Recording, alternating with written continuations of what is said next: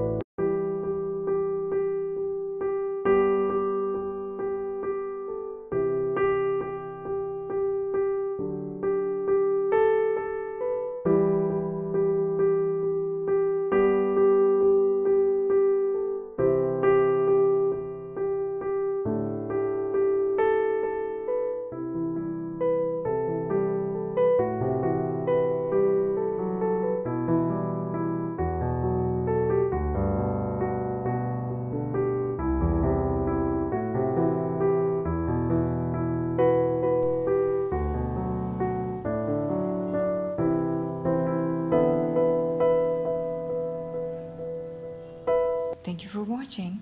Please do let us know in comments if you liked the video.